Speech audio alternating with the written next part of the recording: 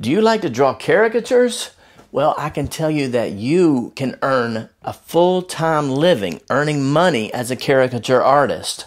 Even if you think you're not good enough yet, you're probably already good enough to earn over $100 an hour drawing caricatures at events and uh, somewhere around $50 an hour drawing caricatures from photos at home. And in this video, I am going to tell you the basics for marketing for a thriving artist and how I did it and how you can too. And you can watch me draw this caricature while I teach you how to make that Monet. And by the way, these marketing techniques apply to almost any artist. So when I first got started, this was somewhere around 2012 or something like that. The first thing I did was to order a caricature online because I wanted to sell caricatures, so I wanted to see what that experience is like. So I searched around on the internet. I found a caricature artist who was selling caricatures, and I got on this person's website. It was an artist from uh, Las Vegas, and uh, I don't remember that artist's name. Sorry about that. But he had a great order form on his website and I ordered the caricature. I described it. I uploaded photos. It was actually a caricature of myself, and I placed my order and sent payment. And then he mailed it back to me. So then I knew all about the experience of someone ordering and then me receiving the drawing. And this is the drawing that I got from that artist. And he didn't even sign it. So um, unfortunately, I don't know who this artist is. But if you know who this artist is, please uh, put it in the comments and I'll look him up. Okay, so after I did that, then I knew that I needed a website. And I also was reading some marketing books, and so I know that a website, the purpose of a website, is to make sales and collect emails. A lot of people have these websites where it's mostly about their portfolio, and um, they're making a big mistake, in my opinion, when they do that. I mean, you're going to have lots of examples of your artwork on your website, but it's all for the purpose of making sales and collecting emails. And the second thing you need is an order form. Just like the guy from Vegas had an order form where I can upload photos, you need to have a type of order form where you can, I mean, the client can upload photos of what you're going to draw. Because if you're trying to do business just through emails and text, and then you get really busy, it's going to be very confusing and random, and you're going to draw mistakes and have to redo stuff. But if you have an order form, you can get more work done and make more money, and that's what we're trying to do. Now, what I should have mentioned at the start is that there are a couple of different ways to make money as a caricature artist. There is drawing at live events, and then also drawing from photos at home which is like gift caricatures, but also that could be illustrations, that could be business logos, but it's a lot of drawing from photos. The order form on your website would be about people who want a drawing from a photo, and then for drawing at live events, you want a contact me form. So, usually the same company can give you those different types of forms. When I got started, I found a company called Email Me Form and you can find them at emailmeform.com. And I used them because they had great forms where you could upload photos. And I still use that same company today. It's called Email Me Form. But you can also get those types of forms from Google Forms, and some websites offer that as well. So for your website, well, first let me tell you what the website that I used. I found a a hosting service called Jimdo.com. It's a drag and drop website. That's what I call it, drag and drop. But you could also use Wix, W I X, or Squarespace, and there's lots of good spots where you can get an easy website for like $150 a year. I wouldn't pay any more than that, and that is pretty affordable. $150 for a website is going to bring you I don't know, $50,000 a year worth of business or more, I think that's a pretty good deal. You can always upgrade to a more expensive website later on if you feel like it. And one more point about marketing with a website for artists is about social media. uh, it's great to have a social media presence Instagram, YouTube, Facebook. But when it comes to marketing, the purpose of a social media presence is to get people to come to your website. So a website is a thousand times more important than your social media presence. The very purpose of your social media presence is to get people to come to your website because they are the audience of Facebook and Instagram or YouTube. But when they come to your website, now they are your audience. And that makes a huge difference when it comes to marketing your artwork. Okay, once I had my website and I had my order form, the next thing I knew that I needed was an email marketing platform. Because, like I said, the purpose of a website is to make sales and collect emails. So now I can make sales with my order form, and now I've got to collect emails. And the way you do that is with email marketing platform. The biggest ones I know of is Constant Contact, also MailChimp, and Aweber. And I chose Aweber because at the time when I first started my website, I had some favorite marketers who were sending me emails and I was also reading their books and they used Aweber and so I chose that because you always want to be like the people you admire. But I know other companies that are using MailChimp or Constant Contact, and those programs may even be better. And there's a lot of new ones coming out every day.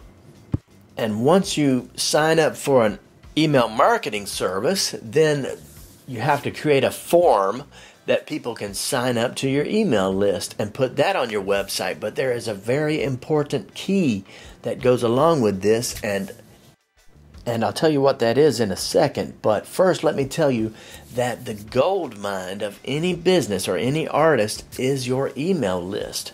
It is a thousand times more important than subscribers or likes. This is how you make your money when you learn who your customers are and you've got their email and you can reach out to them if you need to. There is a famous marketing theory called 1000 True Fans and I forget who came up with that. I'll try to figure it out and uh, add that to the uh, the text on this video. But this marketer said all any artist needs, or any type of artist, whether it's a musician or a caricature artist or a painter, all they really need is a thousand true fans to make a great living as an artist. Because if you have a thousand true fans, and let's say they buy a product or a couple products from you per year for around a hundred bucks, then 100 times a thousand, that's a hundred thousand dollars a year doing what you love to do. So that's how important your email list is. And even if it's smaller than that, what if you have a list of 300 people? That's going to turn into a great living.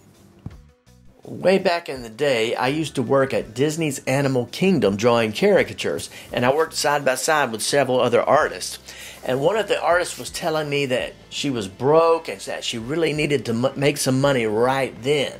And I gave her some advice based on the marketing books I was reading. I said, You've been an artist for a while, right? She said, Yeah. So I said, Okay, so go through your emails if you haven't deleted them and find where you've emailed clients and gather up emails from as many past clients as you possibly can, whether it's years back or whatever. And then put together one email, maybe like a discount for a drawing of a caricature, and send it out to all of those clients all at once. And so I, it was a, like a week later when I came back to work there on another shift, and she was there, and she said, "Hey James, that advice you gave me worked perfectly. I gathered up a whole bunch of emails from years back, and I sent them a discount, and several people ordered from me right away." and they were glad that I contacted them. And I was like, well, that's great. You're the first person that ever took my advice. My advice concerning marketing, that is. But what if you set up your email system from the very start and you start collecting those emails from your first customer on, and then you don't have to try to find them and hope you haven't deleted them? You'll have them all on your email list and ready to go. So what I started doing way back when, this is like 2013 or some somewhere in that area, is I started several types of lists. I had a list of clients who bought caricatures from me. I had another list of people who had hired me for gigs. Those were two separate lists. And then I had a list of talent agents that wanted to hire me. I even put together a list of talent agents that had not hired me yet. I looked them up on the internet, put them on my list. And then uh, also, I started doing some other stuff. And I, so I had several different lists of people, and they were categorized as the type of customer and the type of art that they wanted to buy from me.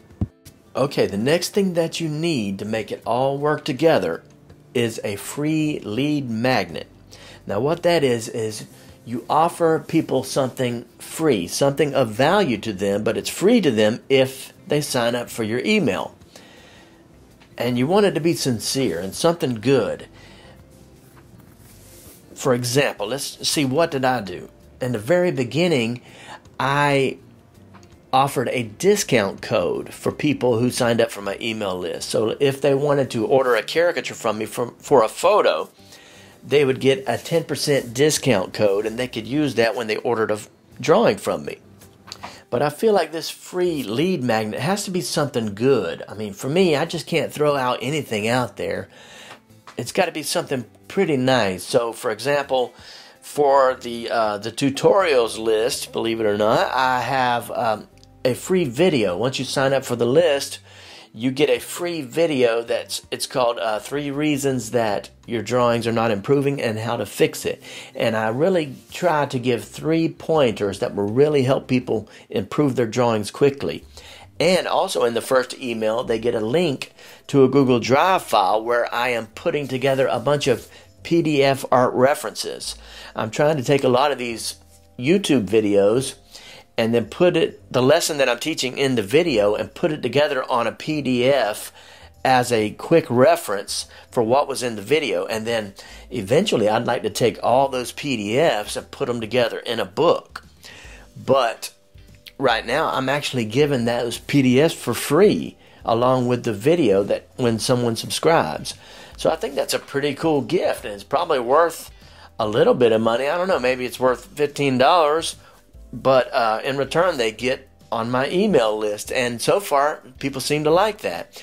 But you would come up with something on your own. Try to be original and come up with something you can offer people if they sign up for your list. And then your list will begin to grow like magic. Okay so at this point there might be some people out there watching the video thinking james you told me how to set things up and, and the foundation but i need to make some money right now so I've got my website and my order form, I've got my email marketing platform and my lead magnet to make it work. So what do I do to start making money today? But there's one more thing you need to start doing or would really be helpful to start doing and that is networking. Networking with other artists. You wouldn't believe how much work I've done over the years that has come to me through another artist. Some of them were good friends. Some of them just knew my name and knew that I was an artist and sent work my way. It is a ton of work and opportunities that I've done thanks to other artists who couldn't do the work, they were too busy, and so they sent it my way. The three best ways to start networking with other artists is number one, join the International Society of Caricature Artists. You can find their Facebook page and their website. I fully encourage you to join up with them, get involved on the website pages. They have pages where they draw each other, and you can always post and ask advice from the experienced artists. The International Society of Caricature Artists, or ISCA for short. And they have a caricature convention every year. Caricatures from caricature artists from all over the world get together and draw each other, and then they hand out awards for things like the fastest artist, or the best likeness, or the most exaggerated artist. Um, and it's a lot of fun, and believe it or not, a lot of work will come out of that. Way back in 2012, I went to my first International Society of Caricature Artists convention, and I was drawing some people in my sketchbook and I met a guy there. His name was Keelan Parham. And he said that he ran about 14 of the caricature stands at Disney World in Florida. And I asked him if he is ever looking for new artists, and he said, Hey, I'm always looking for new artists. And that brings me to the second way to do networking with other artists, and that is go to your local theme park. I realize there might not be a theme park near everyone who's watching this video, but if there is one within driving distance, I recommend that you go to that theme park, find the person that's drawing caricatures, find out who their boss is, who is the contractor in charge of that, and try to get a job drawing caricatures over a summer and meet all the other artists that are drawing caricatures. And that way you can start making money right away, but also you're going to meet other artists where you're going to be able to make money from your art in the future. The third way of networking, and you can make some money with other artists, is fairs and festivals. Believe it or not, there is a group of artists that don't work at theme parks. They go around the country every year working at fairs and festivals all over the place. So the best way to do that is look for a fair or a festival in your neighborhood and go to that festival, find the caricature artist, and find out who is their boss, what is the uh, artistic company in charge of those artists, and find out if they're looking for new artists. And if they are, give them your portfolio, show them some examples. But the most important thing is to connect with these other artists, get their contact info uh, grab their Instagram info, start following and talking with them if you can. Okay, once you got your website set up with an order form and you got an email marketing platform, you got a free gift, it's really cool that you're giving to people in return for their email, and you started your networking. Now you got to start promoting yourself. And promoting yourself is getting out there so people know who you are and you start earning a little bit of money real quick. When I first started promoting myself, I would just draw at any opportunity for other people. For example, I had a friend of mine whose son was having a birthday, and I drew caricatures at his birthday party. I did drawings for friends and for people at work. I would draw their grandfather or grandmother or their kids or their wife.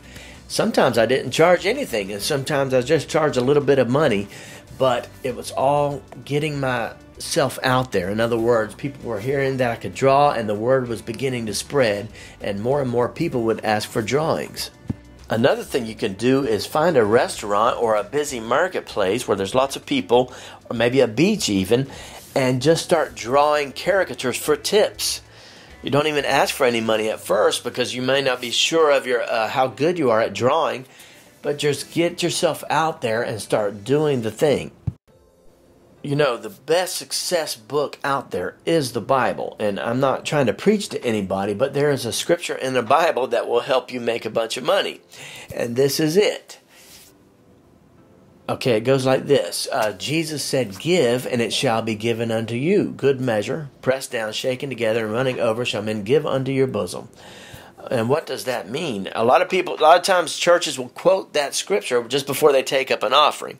But I don't think that's what Jesus meant by it, or maybe that's only part of what Jesus meant by it to give money. I think what he was saying is give value to people. Whatever it is you do, give value to people. Make sure you're serving other people, and then the value that comes back to you will be multiplied incredibly. It is going to be much more than what you've given out. And that applies to any artist and as an artist, you can apply that by doing drawings for people. And when you do a drawing, you always just leave a link or a QR code back to your website. So here's an idea for you. What if you went through your Facebook friends and every one of your friends on Facebook that has a good profile photo, what if you did a great drawing of that person and then sent it to them in a uh, comment on their Facebook or, or posted it on Facebook? Another thing I did when I first got started was I started doing drawings on eBay, believe it or not. I would put a custom drawing, a caricature gift, and I put examples, and people would buy it from me, and then I'd draw it and send it back to them. You can do that also on Facebook Marketplace. A couple of other places to sell drawings is Etsy and Fiverr.com. I've never sold drawings on Etsy or Fiverr because I had my website going pretty good by the time I knew about those websites. That was about you know, around 10 years ago. And if you're interested in doing gigs that's drawing caricatures at events, there are websites like Gig Salad and The Bash. The Bash used to be called Gig Masters, and now it's called The Bash.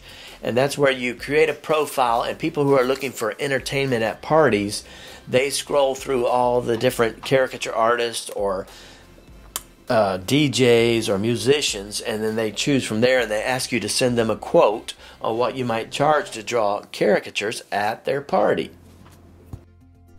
And then also, something that costs a little bit of money is Google advertising. So you can create an ad that says you will draw from a photo or that you'll draw caricatures at an event, and you can run that ad on Google. And it's usually a pay per click and so you can set your own budget. I mean, I would set my budget at like a dollar a day just to get started.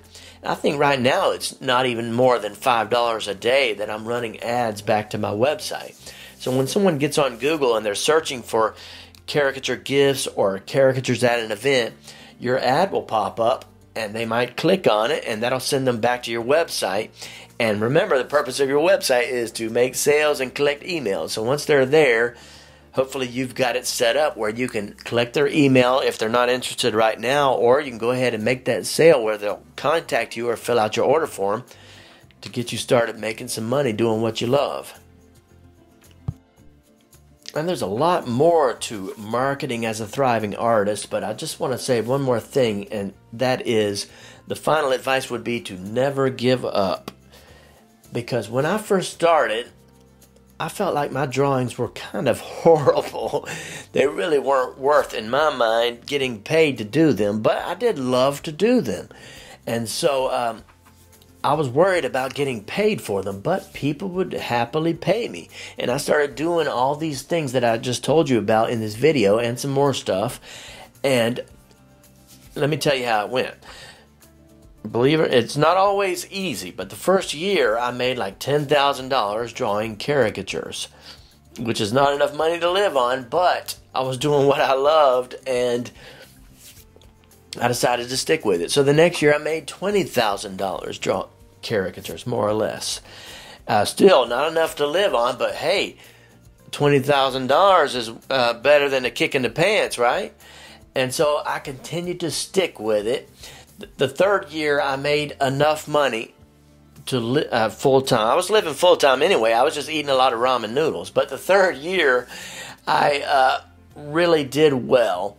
And now, like I, you may have heard me say, I used to be a truck driver, and I made forty thousand, actually forty-seven thousand dollars a year one year as a truck driver. But I can tell you that now I make a lot more money as a caricature artist than I, I ever did as a truck driver. And I, now I'm doing what I love instead of driving up and down the road every day looking at the same things. And so that would be my final advice is never give up. And uh, also don't underestimate yourself. You're probably already better than you think you are. And if you would, please do me a favor and like this video so that more people will see it. It'll get out to more artists. And if you feel like you need some more help getting your caricatures strong so that you can really start making that money faster, then please click on the video that is titled Caricature Drawing Exercises Guaranteed to Improve Your Art.